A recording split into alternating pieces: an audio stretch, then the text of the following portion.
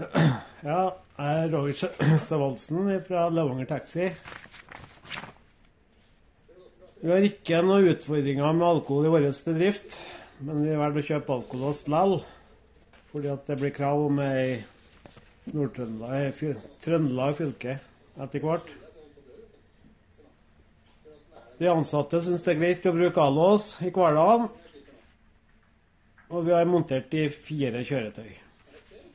Anbefaler alås, for dere satser kun på alkolås.